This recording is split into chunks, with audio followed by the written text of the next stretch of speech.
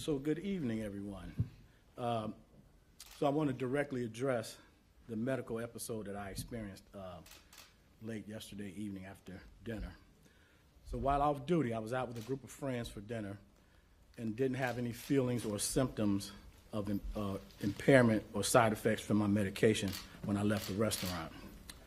So I was close to home when I began feeling same way I felt that day uh, when we did that press conference in Englewood a couple of years ago. So out of abundance of caution, I pulled over to the side and stopped, uh, even though I was relatively close to home. Someone called 911 and reported a person asleep at the stop sign. Responding officers did come. They checked on me and confirmed that I was able to continue on my way.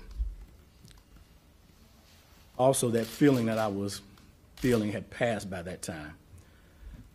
So, should I had had a driver with me last night? Yes, I should have. But I had already worked a full day, and so did he. So, because of uh, different issues going on, and he has a young family, including CPS, a CPS um, student, I let him go home so he could deal with that. So, I visited my cardiologist on Monday and Tuesday.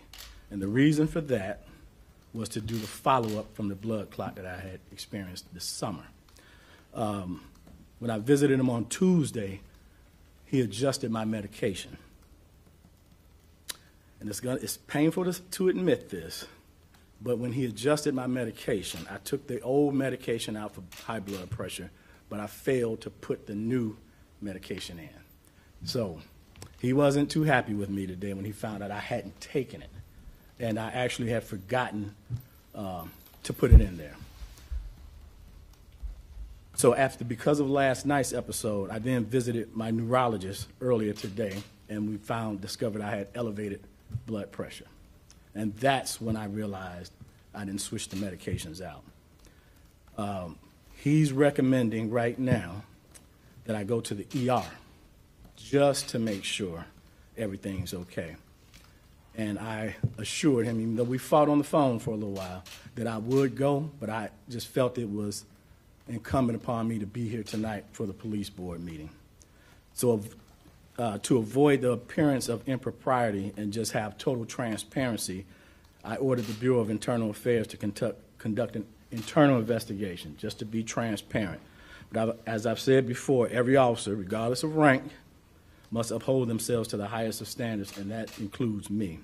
So with that, I'll take a few questions if you all have. Was there a breathalyzer given or any kind of blood drawn? And if not, why not?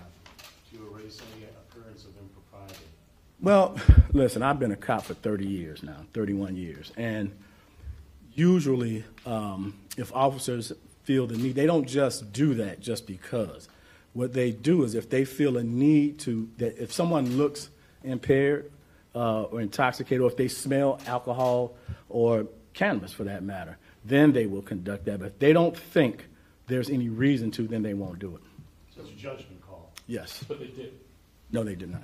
The report was that they saw someone potentially sleeping at the wheel. Were you asleep? Were you conscious? Yeah, What so what, what happened, that, that particular feeling, I don't know if any of you all have ever suffered that, but it, it, it how can I explain? It's just, um, your body kind of gives you a warning when, with the high blood pressure thing that uh, you may pass out.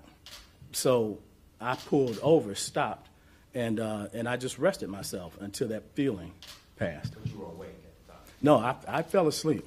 Yeah, I, I fell asleep. Because remember, guys, we worked a long day yesterday. You know, so I was tired. As a matter of fact, I think uh, uh, one of the reporters called the office yesterday when I did uh, some press and told my press people that I didn't look right. So, you know, again, I, should I do better with that medication? That- and there's a couple people not too happy with me uh, about that because I, that's the same thing that happened before. So the blood pressure medication is something I, that I have to do better with. Could you explain, you, you switched out one medication for the other? I was- Yes. So they changed my medication. But you So you were did, but taking you your were, medication still, not the? No, I took I took that, and that's on me. You guys are gonna get me killed when I get home.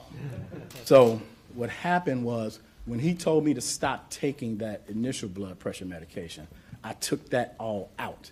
But I failed to put the new medication in. So when I went to see him today and my blood pressure was elevated, that's actually when I realized I hadn't done it. So I had to assure him when I came back to work that I would take the new medication, the new blood pressure So you medication. weren't taking either. Correct. So it was- wasn't, it wasn't a matter of not eating before the medication, you just forgot to take the medication. Yes, I, I failed to replace the new medication from the old. You have a pill box? I do. So you, if you know anything about that, you set it up for the entire week. So when he told me to uh, switch it out, I took all of the old stuff out, but I hadn't gotten the new stuff yet. And by the time I got it, I forgot to put it. I know. I know. Was it a mistake not to administer tests to you, given that you're the police superintendent and you were asleep in your car? No, just somebody being asleep in the car doesn't mean they're impaired in any way. Guys, thanks a lot. Did you We- call we- We gotta get to the police board here and the Did you superintendent call has to go anybody see if the you were doctor. feeling not well? No. And did this Thank happen at thirty-fourth and Aberdeen? Yes. Yes. Thanks, guys. Thank you.